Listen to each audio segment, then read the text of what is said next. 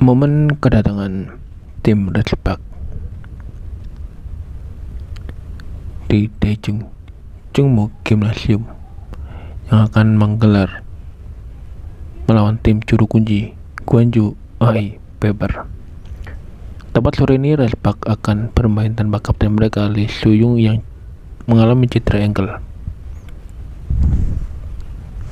Sang kapten akan absen setidaknya dua minggu akibat keseleo di pertandingan terakhir saat lawan GS Caltech.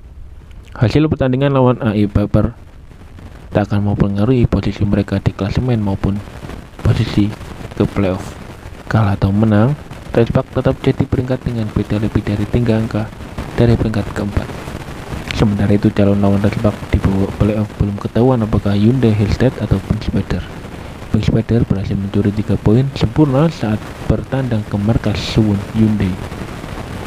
Pink Spider menang secara dramatis dengan skor 25-27.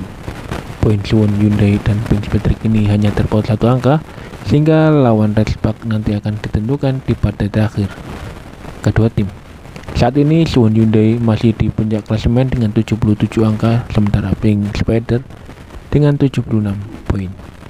Peringkat pertama bisa sedikit bernafas di bawah playoff nanti karena tinggal menunggu pertandingan playoff antara peringkat 2 dan 3. Peringkat pertama akan memiliki waktu istirahat setidaknya sepekan sebelum melawan pemenang di babak playoff.